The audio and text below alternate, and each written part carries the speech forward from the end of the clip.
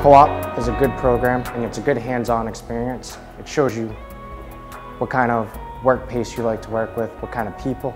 It shows you the uh, uh, customer and people relationship between you. And then it also shows you um, what to expect when you get out in the job force. Access Sports is um, the production of baseball bats for professional league baseball players and then also minor league players. They also help out local communities. It was a good learning experience. I used my management and I used marketing experience. Management from the production side, how to see how the business ran and how to manage it from day to day. On the marketing side, to see where the target markets are, but then also to decide how are you going to help local communities, how are you going to provide.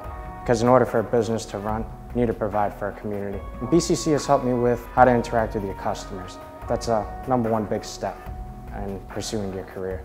It's a good booster to show that I was in the marketing career and that I had customer service experience. Um, because Bristol, I see myself more successful in the future, I'd be able to use this internship as my learning experience.